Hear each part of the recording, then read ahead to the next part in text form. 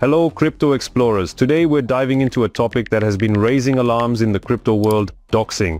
Ever heard of it? Let's break it down together. Doxing, short for dropping documents, is when someone's personal information like their name, address, or even financial details gets shared publicly without their consent. In the context of cryptocurrency, doxing could expose your wallet address, linking it directly to your real identity. And when this happens, it could make all your transactions visible to anyone.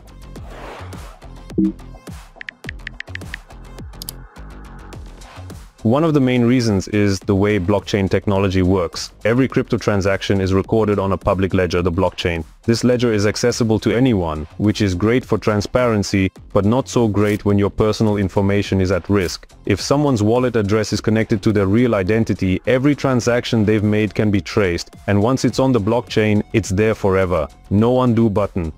And that's not all. Because cryptocurrencies are decentralized, there's no central authority to hold doxers accountable. Unlike traditional banks, there's no one to call for help if your data gets leaked. This lack of oversight can make people feel vulnerable and less likely to dive deeper into the world of crypto.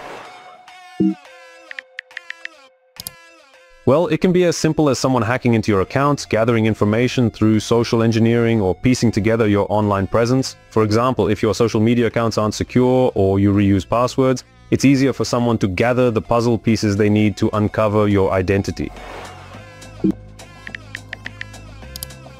The first step is to maintain a strong sense of online privacy.